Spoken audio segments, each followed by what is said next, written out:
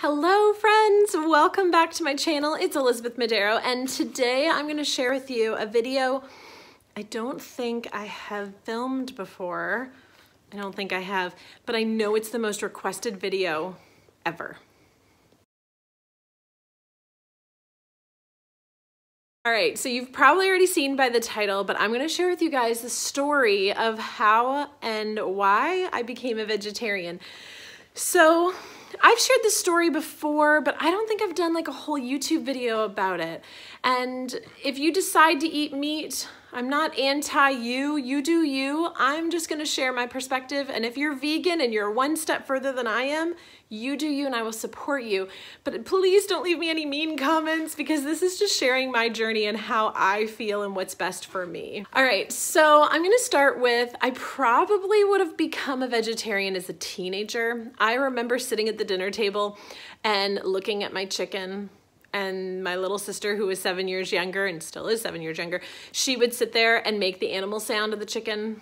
Or if we were eating steak or a burger she would make the sound just to bother me because she knew i was a pretty sensitive kid and loved animals like so so much. I wanted to be a veterinarian when i was younger until i realized vets have to see animals when they're sick and hurting and give shots and all those things. And i thought i don't think i could handle that because i love them so much. So that's kind of where I was at. And I remember sitting there looking at the food on the table, and my dad would just say, Stop it and eat your dinner. so I did. But I think if I had had the opportunity, I would have, or felt stronger about it, I might have become a vegetarian then. So fast forward um, six years ago, maybe seven years ago. I need to look at the date. Um, but it was this weekend where I was watching tons of different documentaries about healthy living. I was on this path of health and wellness. That's why I started this YouTube channel. You guys have seen this progression of me sharing about health, wellness, essential oils, and now fitness. I just want to be the best version I can be. And my goal isn't to just keep this for myself, it's always to help and share others. So, what I'm learning along the way, I want to share with you guys and hopefully encourage you and inspire you to live your healthiest life, whatever that looks like for you. So, I was watching all these different documentaries, was learning so much, and I was watching on, on uh, Netflix some documentaries. And when you watch things on Netflix, it recommends other things on Netflix for you to watch. So, in this one weekend, I watched a documentary called Hungry for Change. I also watched one called Forks Over Knives. And then I watched one called Fat, Sick, and Nearly Dead, which is not as scary as it sounds. It's about juicing and living a healthier life. And essentially, what these foods can do for you if you're eating plant based and the conditions and the terribleness of animals if you're not eating plant-based and what those look like. And so I made a decision, I didn't make a decision then. I was just watching and my eyes were opened so much so that I shared with my family. Like I was like, oh my gosh, like you won't believe all this. And my eyes were just like, I was just enlightened. So this was Easter weekend. And then on Easter Sunday morning, um, our family got together as we always do. And there was a big giant roasted ham. And I remember just standing there and looking at it. Like I had this decision to make. Like, was I going to eat it? Was I not? And nobody knew I was going through this conflicting moment, but I was like, I don't think I can. After everything I watched, I was like, I don't think I can do it. So I didn't claim to be a vegetarian that first full year.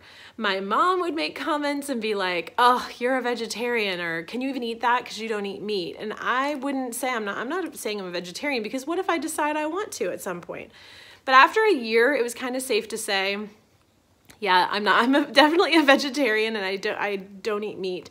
I don't eat a lot of animal products like eggs or dairy, but I do consume some. So if it's in a cake or things like that, like we even use uh, vegetarian butter at our house. I prefer sherbet over dairy-based ice creams, like that kind of thing. But I'm not anti. Um, I just feel better when I don't consume it. So it's been six years or so now, could be seven. I need to do the research. I need to look back. And what was that date? Um, I think I actually made a blog post about it, and that's how I know I used to blog um, about how long it's been. So since then, I've had quite a few of you guys ask me, like, how do I make this work? Because my children are not vegetarian and my husband is not vegetarian. And so I think I'll have to share like some of my tips of how do I make this work? How do I live a vegetarian lifestyle when they don't? So I've already shared about like the butter, um, but I make sure that when I do buy meat for our family, it's organic. I, I try my very, very best to buy the best quality ingredients I can for them. We buy organic eggs and we just do the best we can. And I know it's more expensive, but I just feel like it's worth it. Um, when it comes to making meals, I do what I would normally eat. So if we're doing, let's say, hot dog and fries for the family that night for dinner, I have a veggie patty that I heat up in the air fryer and I dress it up like it's a hot dog. I know they have vegetarian hot dogs. I've tried them. I really don't like them. But I'll do like a veggie patty in the air fryer and I will put a pickle on it and some lettuce and ketchup and mustard and I will have it like it's a hot dog. Uh, same thing with veggie burgers. If we're gonna do burgers on the grill, I'll do a black bean burger and do it that way. If we're doing chicken sandwiches, I'll get a veggie chicken sandwich. If we're going to have like pasta and meatballs, I just won't have the meatballs. Then there's more creative recipes. So if you're trying to become a vegetarian and people around you are not, um, you can just make sandwiches without the meat and do more veggies. So it takes being creative. One of the things that I love and my family loves is chicken pot pie. So I make a chicken pot pie for them. And the way that I do this for me is um, I'll make all the ingredients on the stove. Instead of chicken stock, I use veggie stock so I can use it and eat it too. And then what I do is before I add the shredded chicken to that pot, I will portion out two ladles of it for me and put it on the stove top in a separate dish. And I will add one of my favorite veggies that maybe they wouldn't want, so like broccoli. And broccoli will take the place of the chicken and the chicken pot pie for me whereas they're gonna have theirs loaded with chicken. And maybe I'll do a second pie crust just for me and make a second one, or I'll just have the chicken pot pie without the crust. So there's all kinds of recipes that I do where I just swap it out. Um, and I'd love to share with you guys more. So let me know in the comment section below if you have any questions about being a vegetarian. Um, only nice things to say though, please, because I know people can be very heated about food. People are very like, this is the way it has to be. And I just feel like this is the way it has to be for me.